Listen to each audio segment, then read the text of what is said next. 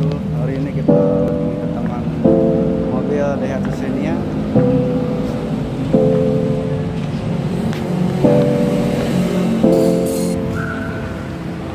Xenia ini mau upgrade ke ring 15 Untuk standarnya dia menggunakan ringnya ring 13 ya.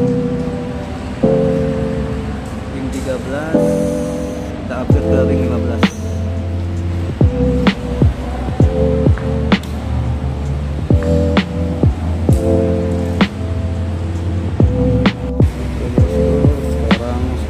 proses pemasangan.